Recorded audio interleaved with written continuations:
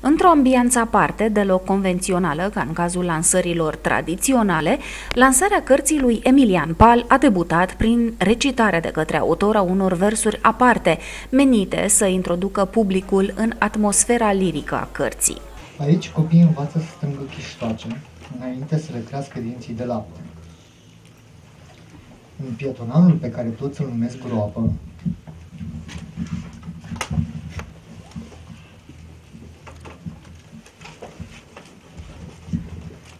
se fac proiecții de filme pe ecrane de apă despre cum ar fi viața dacă n-am făcut parte din ea. Castanii scriu autobi- autobiografii în propria scoarță, apoi se spânzură unii de alții. Din când în când, primarul organizează conferințe de presă, în care răspunde atacurilor pornite de opoziție.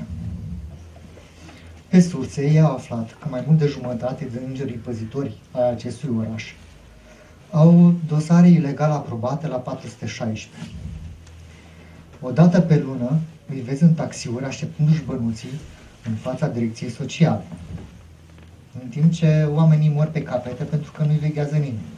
Editorul cărții, poetul Teodor Dună, apreciat a fi una din vocile poetice vizionare ale generației 2000, scriitor care are la activ mai multe premii literare, a vorbit despre poezia lui Emilian Pal, în general și despre acest al treilea volum în special, ca unul din volumele ce reușește să aducă un raport de intimitate cu cititorul. Ei, cartea lui uh, Emilian Pal vorbește foarte mult despre ce a vorbit poezia de 150 de ani, numai că în alt fel. Vorbește despre singurătate, despre tristețe, despre alienare. Uh, e adevărat, subiectele poeziei, de-a lungul istoriei poeziei, se modifică foarte puțin. Însă, ce a făcut poezia în ultimii 10-15 ani în uh, literatura română este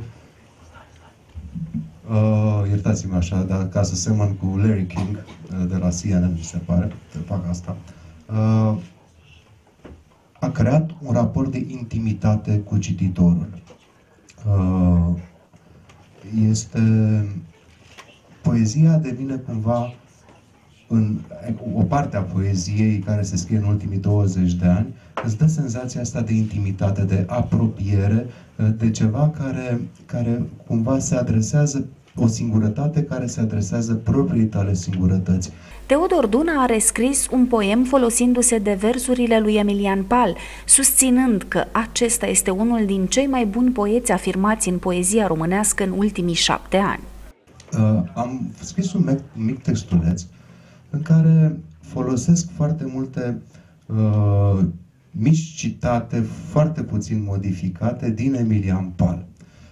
Dar înainte de asta, vreau să vă citesc un mic poem care nu are nicio care deși din aceeași carte, așa, nu are nicio legătură cu Adică e scris de același autor, Emilian Pal, în stânga mea, un poet foarte bun, unul dintre cei mai buni din ultimii, care s-au afirmat în literatura română în ultimii șapte ani.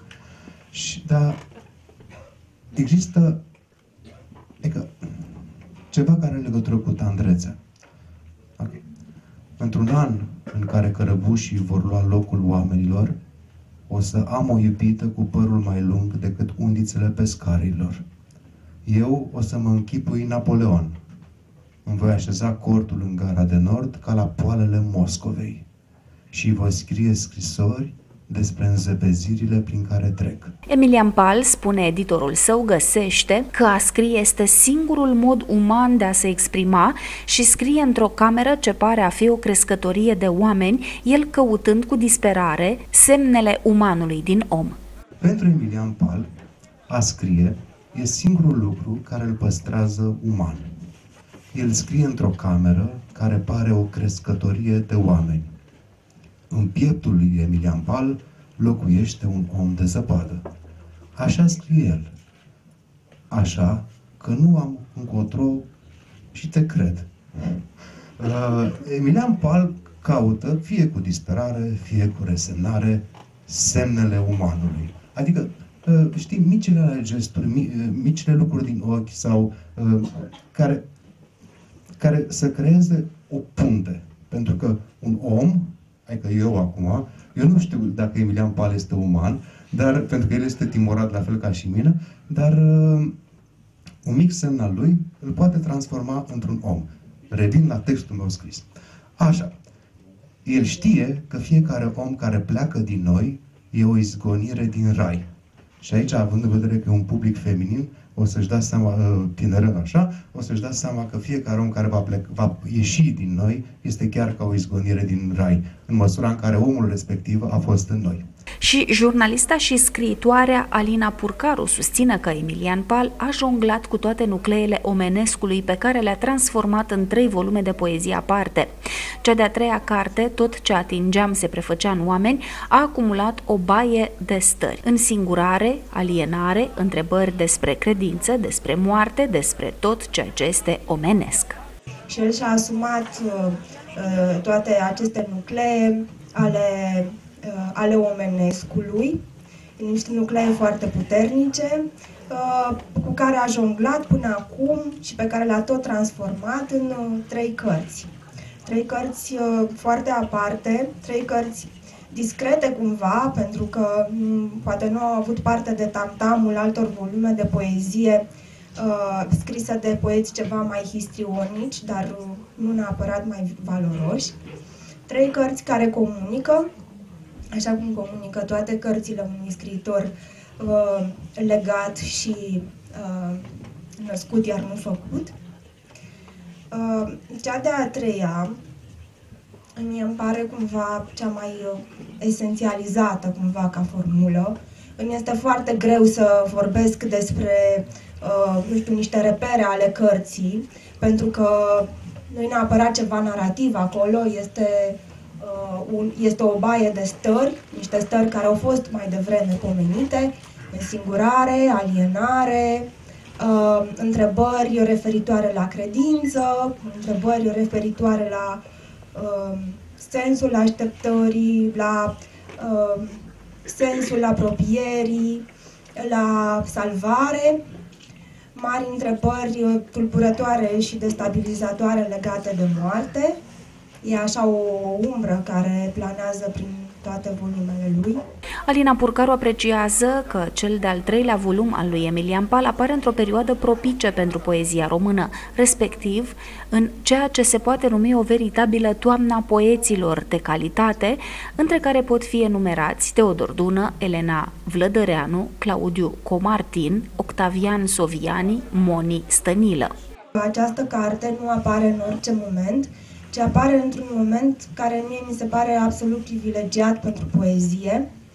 Uh, nu știu exact cât de consecvent ați urmărit ce cărți de poezie au apărut în ultima vreme.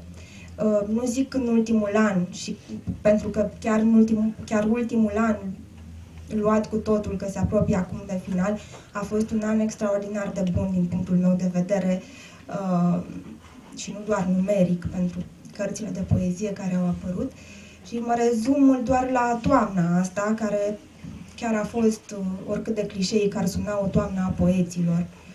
Uh, foarte mulți poeți uh, contemporani teribil de buni și-au scos în toamna asta volume. Teodor Dun are volum nou, Chirilă. Elena Vlădăreanu are volum nou, Bani, muncă, timp liber.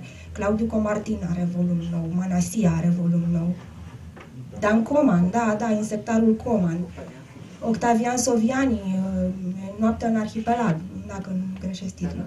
Născut în 1979 la Iași, jurnalist la cotidianul Ziarul de Roman și în prezent la un post local de televiziune, Emilian Pal a câștigat în 2014 Premiul Național de Poezie Traian Coșovei.